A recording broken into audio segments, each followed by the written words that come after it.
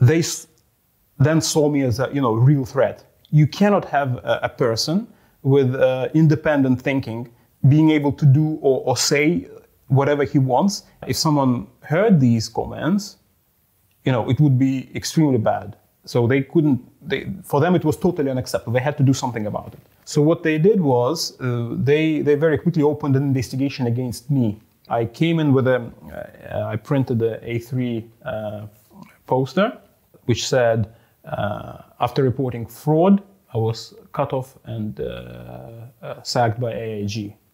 And, and I went to reception. I said, uh, "Can someone from HR just come down for you know a few minutes to explain to me why I was dismissed?" Uh, if if no, I was gonna stand here with a with a poster like that in the reception. And, there were people already going, and they said, "No, no everything's good. Have have a seat. Uh, someone will come down." Oh, okay, okay. So I'm not looking for a scandal. Okay, I, I, I sit, and and then the person comes down, says. Mm, uh, no one's coming. Mm, You, everything was already told to you. I said, okay, I'm gonna stand here because I thought, you know, I stand in the reception.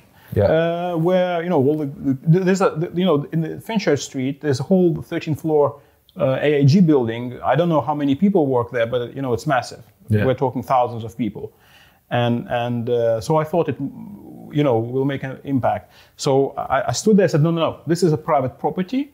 Please, uh, you know, vacate the building. So, so they kicked me out on the street, and that proved to be, you know, much more effective. So I st- stood there on the street with a with a, um, a placard. I think within uh, like ten minutes, six policemen come. You know, massive big guys. You're not doing anything illegal. Uh, no, no. So the, uh, uh, they come to me, and they look at me, and I'm standing there with a, with a, with a, with a, with a poster, and and